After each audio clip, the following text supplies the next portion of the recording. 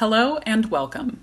On behalf of the National Eczema Association, I'd like to welcome you to our Webinar Wednesday presentation, Get the Facts Traditional Chinese Medicine and Eczema by Dr. Olivia Hsu Friedman.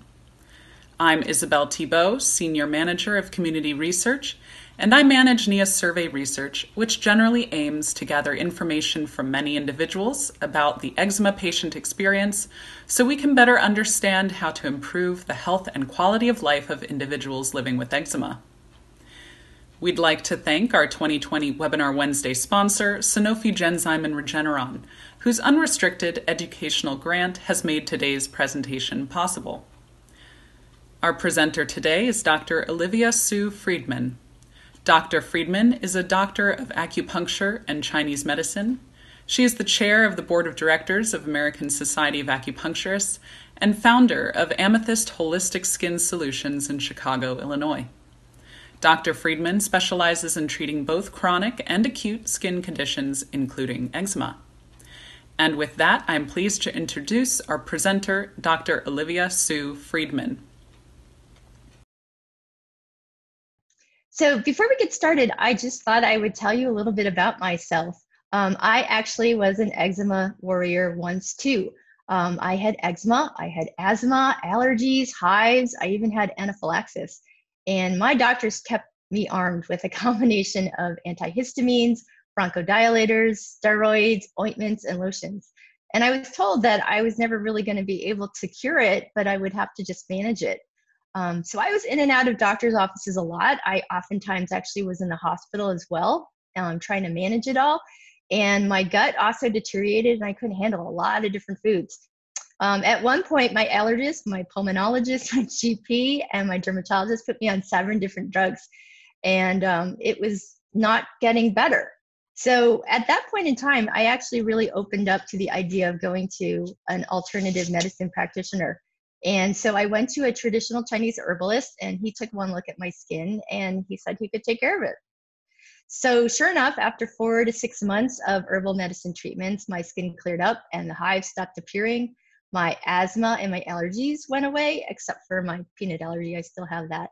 And my gut was able to handle a lot of foods that I never thought I was going to be able to eat again. So, when you live through those kinds of extremes, it's really hard not to be changed by the experience. And as a result, um, I thought to myself, if someone could do this for me, uh, wouldn't it be cool to spend the rest of my life doing this for others? So I actually quit my job in corporate America. I went back to school and I became a traditional Chinese medicine dermatologist. And now I practice and I help whoever I can. So, what does TCM know about eczema? So, here's some really interesting facts. Um, 3,000 years ago, obviously before there was any paper or pencil, uh, we have evidence that there are animal bones that they found that actually have skin conditions carved into them. So that was the way that they kept records back then. Uh, between 300 BCE and 200 CE, um, the Chinese had produced over 200 dermatology texts. And by 1644 to 1911, there were over 340 skin diseases that were identified.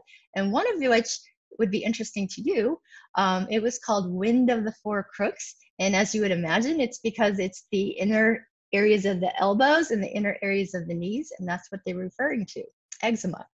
So to date, there's actually 1,500 texts on herbal medicine. So I would say they have a very long history of studying um, dermatology, and so they know quite a bit.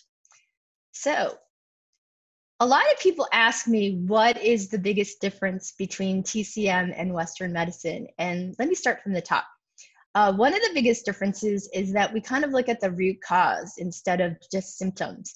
In Western medicine, we we do we try to manage um, eczema symptoms like itch and inflammation and infection and dryness um, we identify a specific biochemical mechanism that produces that symptom, and then we try to develop a drug that essentially can shut down that biochemical mechanism. So many drugs do a really great job of managing those symptoms, but a lot of those drugs really don't address what's underlying and what is the reason why this mechanism went awry in the first place. Excuse me. Um, this is why most patients typically have to stay on drugs in order to manage their symptoms. So, in contrast, um, Chinese medicine actually focuses on the root, root cause. Uh, we say that if you treat the root cause, then shouldn't all the symptoms go away? So, that brings me to the second difference between TCM and Western medicine. Um, we have a really detailed diagnosis system. Uh, what happens in Western medicine is we typically treat each case very similarly. Um, a lot of the excuse me, um, drugs and products that we prescribe are used regardless of what kind of condition you have or presentation. Um, you know, most people use like anti-inflammatories, immunosuppressants, antibiotics, moisturizers, and then for really serious situations, we use biologics. Um, in Chinese medicine, we have 11 different classifications for why itch occurs, and we have eight patterns to identify the source of the redness. We say that lichenification actually indicates one of three different issues. And if you have weeping, oozing skin, it can be sourced to three different causes. So the distinctions go on. Um, as a result, the Chinese medical diagnosis system is much more de detailed and that lends itself to a much more customized approach to treatment, which brings me to the third reason, or the third thing that makes us different. Uh, different presentations typically get different treatments. So in Chinese herbal medicine, there's over a thousand different ingre ingredients that can be used. Um, individually, they each offer a set of healing properties. And when they're cooked together, they actually bind and form other biochemicals that provide other capabilities. Um, by identifying the specific features of each patient's eczema, Chinese medicine dermatologists can select the herbal ingredients that best address each issue. And then they can combine them to form a customized formula. And additionally, as eczema evolves and or it heals, we can use different formulas, we can use different ingredients, we can use different dosages of each ingredient, and we can change that throughout the entire treatment process.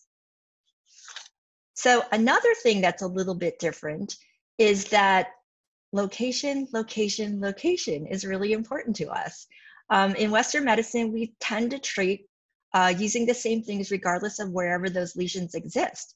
But in Chinese medicine, eczema is treated really differently if it appears on the hands versus the feet, or the neck versus the legs.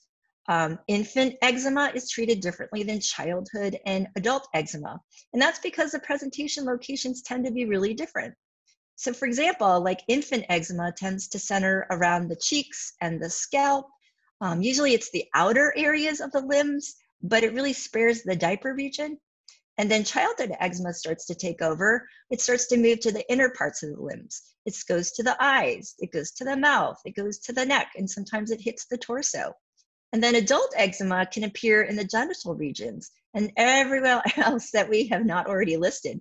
Um, and they can also cluster in very specific body parts.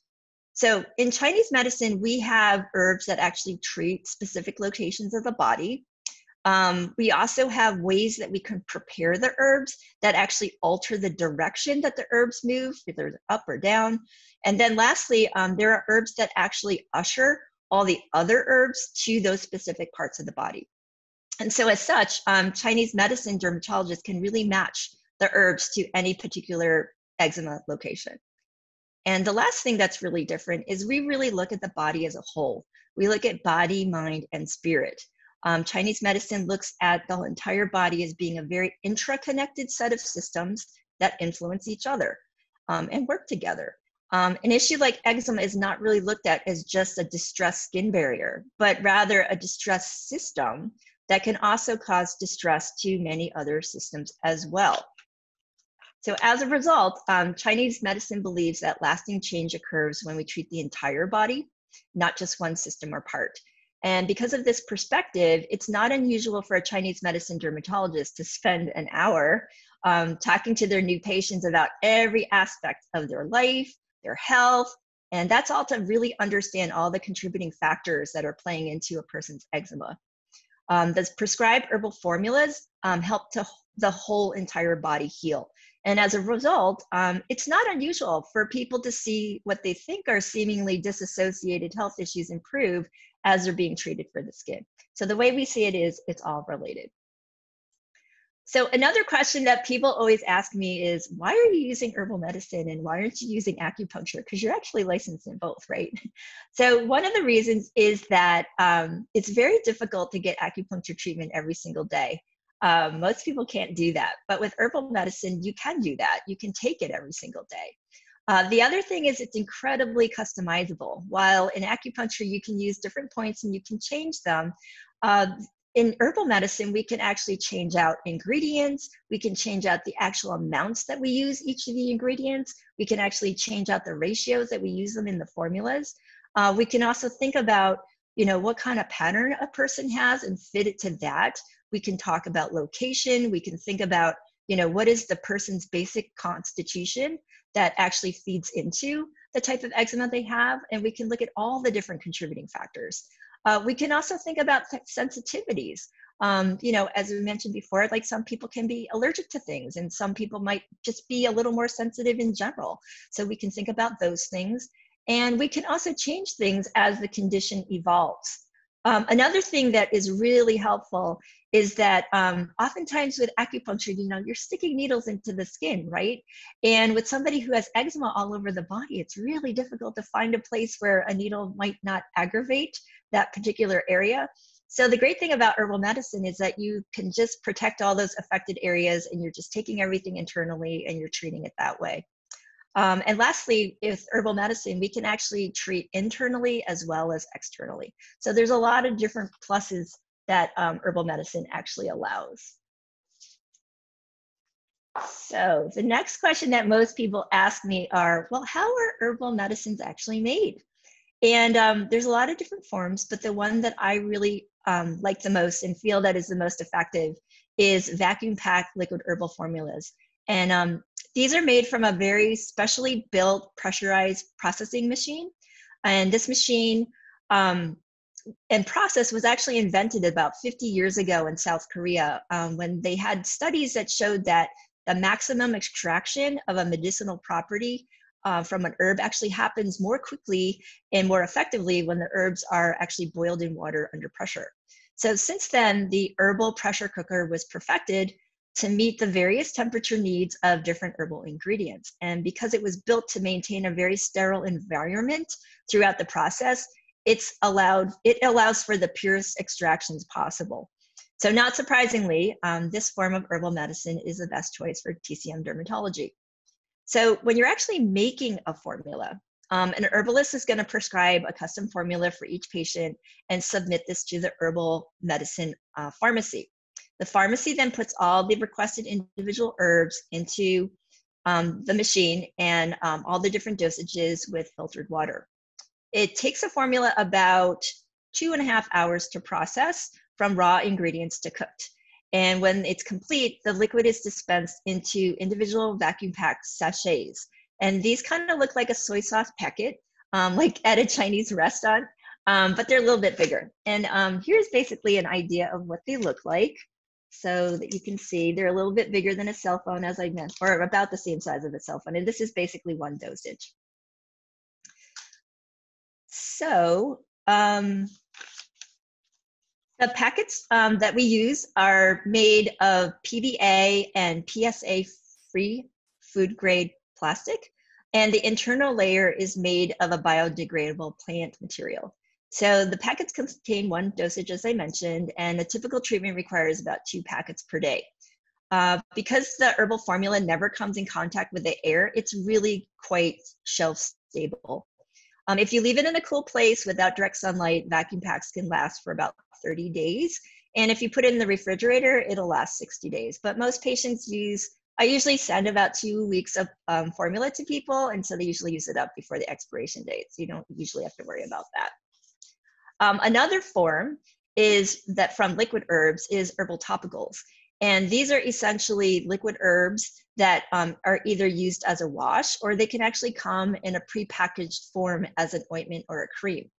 So the types of topicals, or these types of topicals are essentially um, concentrated herbal formulas or individually cooked ingredients that are mixed with an all natural oil or emollient and then that makes it really easy to apply onto the skin. Um, by using a combination of liquid ingested formulas as well as topically applied herbal formulas, we can usually treat the skin pretty well um, from the inside and out. Um, there are other forms of formulas, and you may have seen them when you work with other practitioners, and those include things like herbal pills, um, capsulated formulas, and herbal granule powders. Um, I prefer not to use these, and these are the two reasons. Um, one is they tend not to be as potent, and two, they are not as pure as vacuum packed herbs, and let me tell you why. So every time you process an herb, you're basically losing some of its potency and it basically degrades the herbs to some degree. Um, so for example, when you make a granule, you actually have to dehydrate it from a liquid. And then when you make a pill, you actually have to take that granule and put it through another process so that it packs into a pill. So additionally, all of these types of herbs actually add something called a hygroscop, uh, hygroscopic excipient. And these ingredients are meant to keep the pills and the granules dry. And because these ingredients basically pull out moisture from the skin, they're not always really ideal for skin conditions, as you would imagine. Um, since vacuum packed decoctions use no preservatives, preservatives, no binders, and therefore they're just pure and filtered water, I really prefer them because I, I just feel like that's what you want. So another question I always get is, are herbal, is herbal medicine safe? And the short answer I would say is yes, um, but it really depends on your practitioner. They have to do their homework. Um, just to tell you a little bit about me, um, before I opened up my practice, I spent weeks uh, researching herbal companies to examine how they source their herbs, what they measure to ensure quality, uh, what they tested to ensure safety, and whether or not their herb facility was checked by a third party to ensure quality control and cleanliness. Um, it was really important to me to work with a company that provides authentic, premium, and safe herbs. So here are the things that I looked for in an herbal pharmacy and are really important to have. So first, um, herbal quality. You want to make sure that the raw herbs are checked and they're verified for their correct species and geo-authenticity. Um, upon receipt, every herb must pass an inspection for proper identification, maturity, and high quality. Um, every batch is essentially tested for heavy metals, pesticides, residues, and microbial contamination. And additionally, every batch has to adhere to specific techniques to preserve and package the herbs in order to ensure the product is free from sulfur dioxide fumigation and other preservatives. Another thing is herbal testing. It's really important that herbs are manufacturer tested using this thin layer chromatography or high um, performance liquid chromatography to confirm identification, ensure potency, and to test for active constituents. Um, the pharmacy should also be using an independent testing facility to test their herbs for microbes, heavy metals such as like arsenic, lead, mercury, cadmium, cadmium, um, as well as 60 other pesticides um, that can include like DDT and BHC. Um, the other thing that I think is really important is that they're FDA approved. Um, if they're registered with the FDA, that means that they have to undergo regular inspections by the FDA and they're whenever the FDA wants. So it can be any time. Um, that's really good to confirm good manufacturing processes and it really makes me feel good that you know at any given time they're doing exactly what they're supposed to be doing i also, also think it's really important to have credentialed experts uh, manning the whole process um, they should have people with the highest level of certification in herbal medicine, which right now is the NCCOM certificate, um, which I also have. Um, the pharmacy I use also has the added benefit of having a certified Western pharmacist who's overseeing all the processes of every single order. And together, between all these different people, um, all these experts are basically looking at how the vacuum vacuum packed formula is being produced and making sure it goes through a six point safety check. So as you can see, it's really important that the pharmacy that your practitioner works with has really high standards. And the only way to ensure that is to make sure that the herbs that you are getting are high quality, authentic, and safe. So another question that people typically ask me is, what do herbal medicines taste like? And I'm not gonna lie, they don't taste like candy.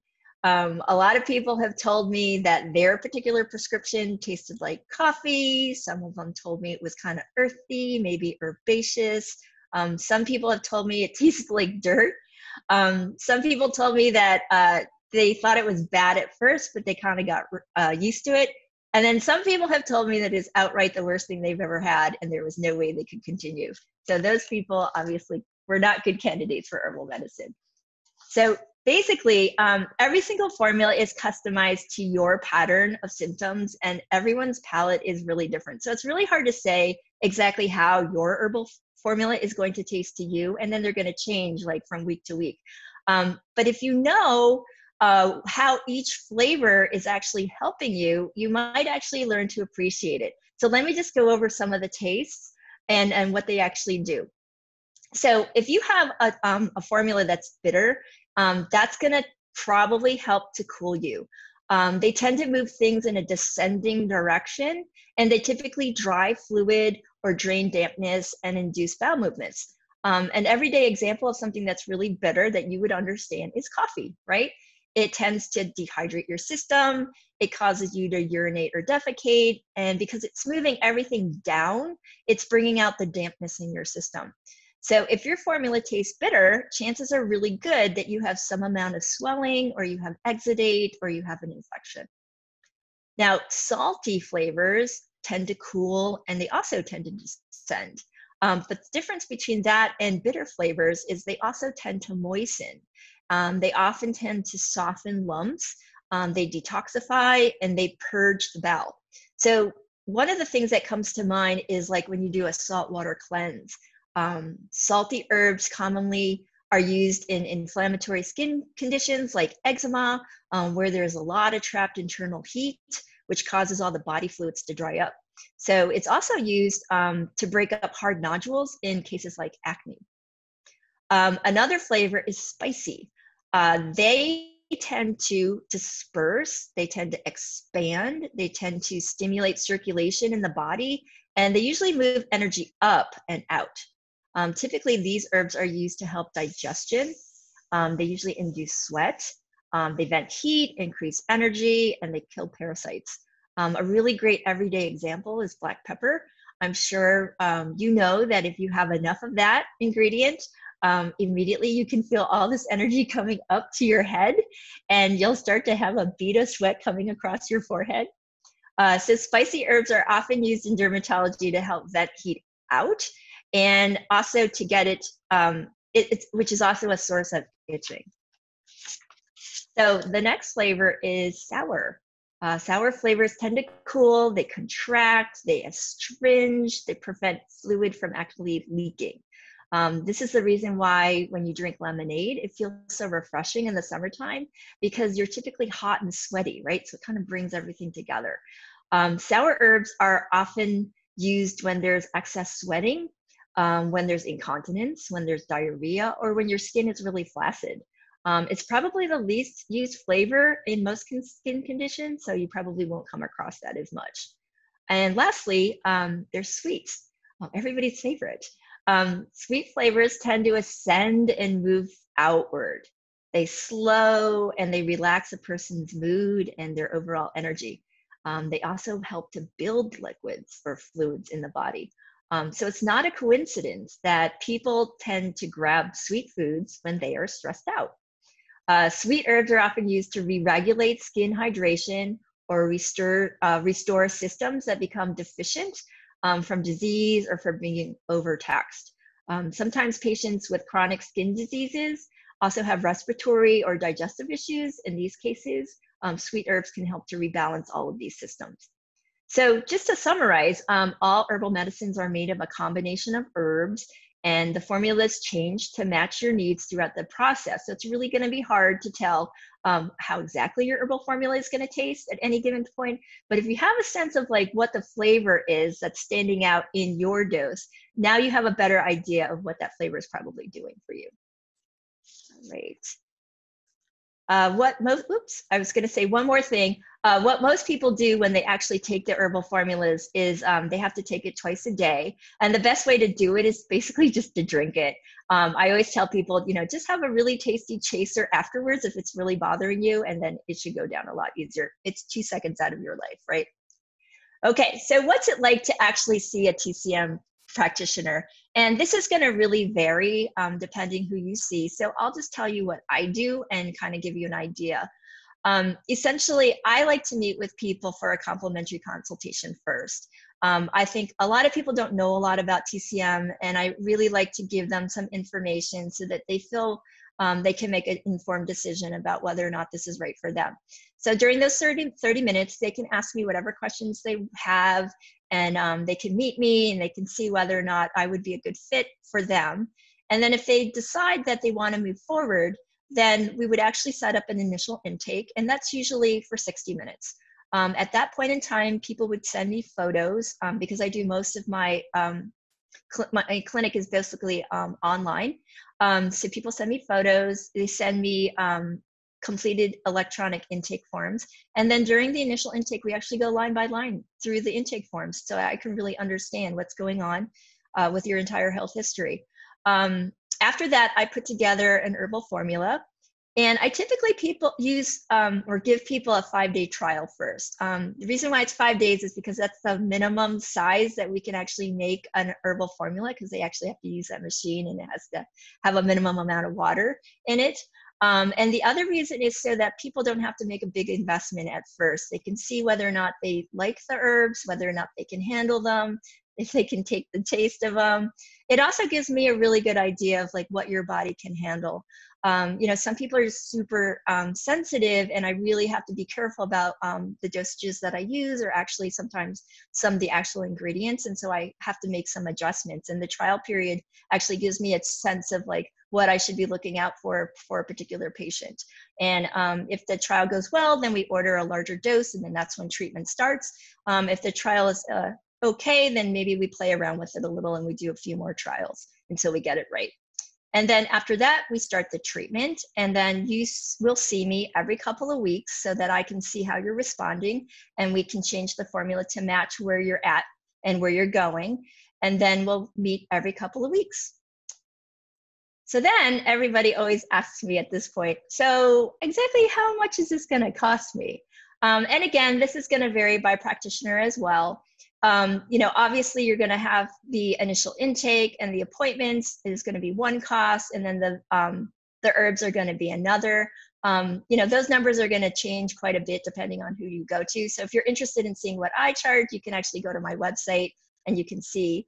Um, but in terms of the vacuum packs, I can give you a really good solid number for that. Um, I don't charge any additional money for those. I basically have them made for you, and then I just charge um, what the cost is to me.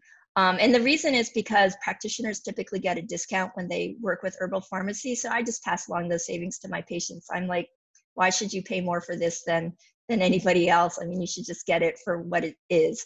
Um, so I don't make anything off of these um, herbal formulas, and I also don't ever want to be accused of pushing herbs. Um, so I just want to give people what they need. Um, so the the bare cost of a vacuum pack is essentially like 70 to 100 dollars a week um, not including shipping costs and taxes. And um, if you use topicals the uh, brands that i typically use are somewhere between 20 and 50 dollars a container. And you know it depends on how much surface area you're going to be covering depends on how quickly you'll be going through those um, containers. So you know if it's only your face that's a problem it'll probably last you a long time. Um, if you're putting it all over your body, it'll obviously take a lot long, a lot shorter to actually get through them. Um, but typically, uh, one thing I can say is that at this point in time, um, insurance companies don't really recognize herbal medicine as a medicine just yet. Um, so you can't bill directly to an insurance company. However, what I have found is that a lot of companies have HSA programs or FSA programs. And typically, if you call them ahead of time and ask them whether or not this would be covered, a lot of them do cover it. So um, that's a good way to go. Um, but otherwise, if you don't have those options, then it's obviously a cash um, based uh, treatment, and um, you would basically use a credit card or cash. So another question that people always ask me is, so how long is this going to take? Um, how long is it going to take to heal my eczema? And um, as you would imagine, it's a very hard question to answer with absolutes because it really depends on you. Um, here are the main factors that I can talk to you about that might help to answer that question. Um, first of all, um, what are your contributing factors? So, as I mentioned before, um, there are basically seven different major patterns of eczema, and most people fall somewhere between all of them. So, as a result, it really depends on how complicated your unique pattern is. And typically, the longer, the more complicated your situation is, the longer it'll probably resolve. Um, a lot of people will ask, well, I will ask if I see that um, a lot of systems in your body have been affected by your eczema, then that's also going to be another factor that'll play into how long things take. Um, the Chinese kind of see skin as a mirror of what's going on in your body or not going on. And this doesn't mean that your organs are broken or they're not performing, but it rather it, it talks about how um, systems can basically be impacted by eczema. And this is one of the reasons why the herbalist is going to ask you a lot of questions, like about your sleep, about your digestion, about your bowel movements, about your emotional and psychological state, about your thirst, and about your stress levels, um, and a lot of other things too. And the answer to all of these questions is really going to help better gauge um, how your whole system is operating right now. And so, a safe rule of thumb basically is the more systems that are affected, the longer it's likely going to take you to heal. Another thing is sensitivities. Um, a lot of people have trouble with some of the common herbs that are typically used to address a particular um, eczema pattern. And sometimes this is because the patient's overall constitution is fragile or their overall sensitivities have increased as the skin condition has deteriorated. And also, some patients are just flat out allergic to certain ingredients. So, what I typically do during the initial intake is I identify all the possible allergens. Um, but even after eliminating all of those ingredients, um, there can be a little bit of trial and error about what ingredients and dosages of the ingredients your body can actually handle. Um, the good news is that herbal medicine offers many herbal choices for any specific condition. And so there definitely are substitutes for most things. Um, also, we have a lot of flexibility in terms of the amount that we actually use for each ingredient so we can really match to your individual needs. And the last thing that typically comes into play um, is how consistent are you about taking your herbs? Um, I find that a lot of patients, when they go on vacation, they don't take their herbs with them. Um, sometimes when they get sick, they just stop taking the herbs altogether for several days and weeks. And some patients just forget to take their herbs. So it's understandable, life happens. Um, but I think it goes without saying that if uh, it's really difficult to heal and see progress if you're not consistent with your treatment. So let me just wrap this all up for you. Um, basically, the biggest differences between Western medicine and Chinese medicine or traditional Chinese medicine dermatology is we look at everything from the root cause and we try to solve everything in terms of the underlying root cause. Uh, we have an incredibly detailed diagnosis system. We have a very customized medicine. You're going to be meeting with me a lot. Um, or any practitioner that you see. Um, it's definitely a cash treatment. Um, if you're lucky, you can use an HSA or an FSA. Um, it's definitely a very safe uh, treatment uh, protocol and it's really tasty. So uh, I just wanted to thank you very much for taking this journey with me, learning all about the facts of eczema. Uh, the picture on the right is actually a real journey that I took. Um, I'm standing on the top of a mountain after a, a five hour hike, uh, looking out at this beautiful scenery. Um, I know that uh, there's a lot of information that I covered, and I'm sure there's a lot of questions. Uh, what you can do is actually go to my website at amethystacu.com. And you can set up a complimentary consultation. I'll be more than happy to talk to you directly and I can give you more information about different things. Um, you can also go onto my website and I have a free course on eczema. Um, it's an e-course and it's called Solving Eczema from the Inside and Out. And so you can actually click onto that and subscribe to that. Um, and I also have a lot of different things about like case studies. Um, I have before and after pictures so you can kind of see how it works. Um, I also have a lot of testimonials of people who have actually gone through this. I have podcasts and videos and all kinds of things. So if you want more information, that's a great resource to go. Um, and otherwise, you can set up a complimentary consultation. I'll be more than happy to talk to you and, and give you more of the facts. So I just want to thank you so much for having me. I want to thank the NEA for all the great work that they've been doing. And I just want to thank you for inviting me to share um, with the eczema community. Thanks so much.